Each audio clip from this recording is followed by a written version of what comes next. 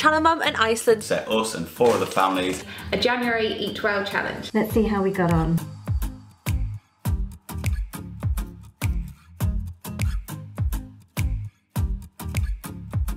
I got three big bags, rather a lot for £50. I feel like nothing screams healthy more than quinoa. So there we go, big old bag of that. These are new for me. These are the Four Multi Greens rice steam bags. These are actually ready in four minutes in the microwave. So that is a win-win in my opinion. Another product I haven't seen anywhere else before is the ripened avocado halves. Then I got two of these, which I'm very, very excited to try. I haven't tried these before. This is the lean beef steak mince.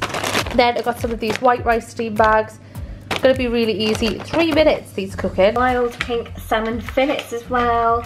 And these are very quick to cook. I also picked up the sliced chicken breast, which I will be using as part of a stir fry. Carrot fries.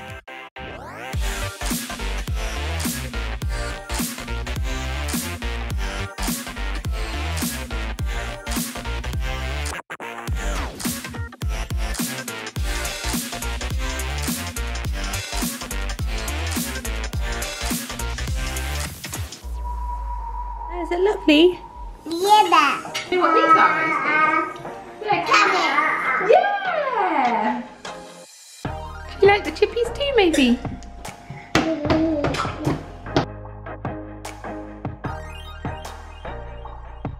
Is that nice? It's got ice lettuce in. Does it taste like ice lollies? Chili is a dish that I make quite a lot, but it was so much easier using the steam bag rices. Two bags of rice is more than enough for the three of us, which is perfect. And it meant that it was just a one pan dish, so thumbs up from us. So that's the end of a really tasty week for us mm. and also quite a convenient one. Yeah, I actually found it really easy and way less stressful than normal cooking. We created no waste. no waste and there's still tons of meals that we can cook with all the stuff we got. Yeah. And I really do feel like I've eaten more vegetables this week. So much quicker. It's going to save you so much time. It's going to save money because you're going to have less waste. Very good quality for the price I actually paid for them. We really enjoyed shopping in Iceland this week. It definitely made our weekly shop much cheaper. Never would have thought to go with the frozen minced beef. I just assumed it would be bad, I guess.